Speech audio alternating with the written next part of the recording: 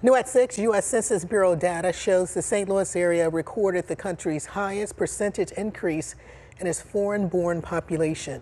Between 2022 and 2023, the metro area saw more than a 23% increase in foreign-born population. That marks the largest one-year increase in the region's immigrant population on record. Now, the region's Latino Hispanic population saw a notable increase, ranking St. Louis fourth among the 30th largest metro areas for percentage growth.